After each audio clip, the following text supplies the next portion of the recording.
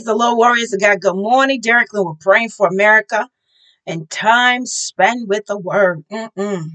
In the beginning was the Word, the Word was God, the Word was with God in the beginning. Jesus Christ is the Word of God. Father, we come in the name of Jesus Christ, the Son of the living God, as we pray over America this morning. We're asking you, Holy Spirit, that you will give us insight, revelation into the things yet to come that what no eye has seen, what no ear has heard, what no mind can comprehend the things you have in store for this nation.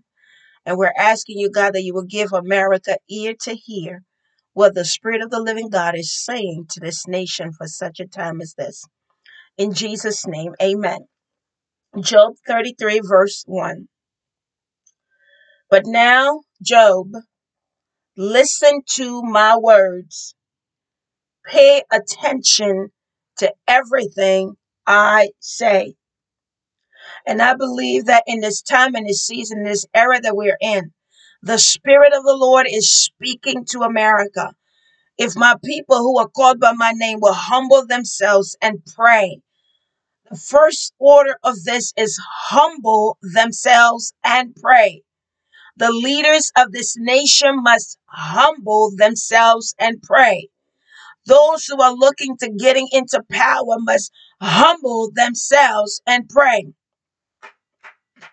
because he said, If my people who are called by my name, the church must humble herself and pray. Will humble themselves and pray, seek my face. He says, Ask and it shall be given, seek and we will find, seek my face and turn from their wicked ways.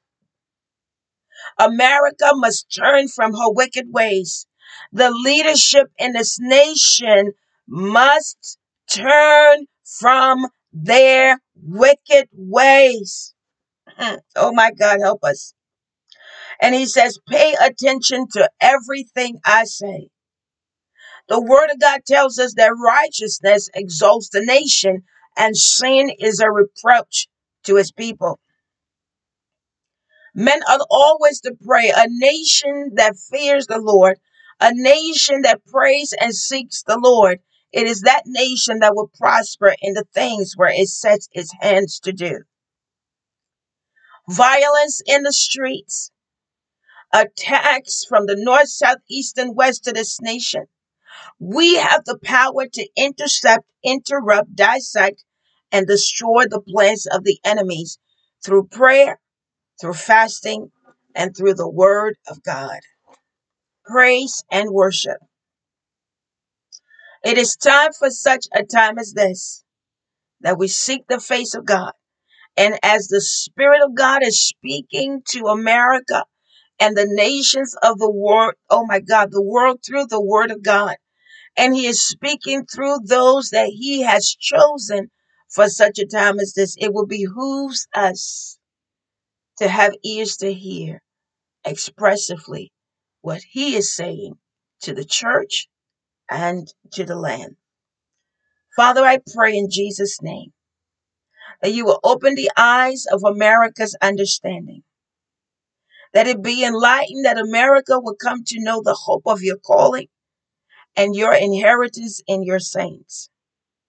Open the eyes of America's understanding that America, God, would turn from its wicked ways so that Father, you can come in, be ushered in to heal and restore the land. We bless your name this morning and we pray, Father, that you would take over by your righteous hand judges within this country that do not have your heart or that have an agenda and are going along with the mob. Father, let there be a suddenly suddenly, suddenly, suddenly. In the mighty name of Jesus, and let the bench be taken from up under them and given to the one who fears and reverence and puts you first. Oh my God. Oh my God. I see it happening. I see it happening. I see it happening.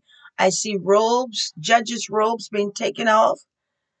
My God, and it's like a mantle, an anointing being lifted.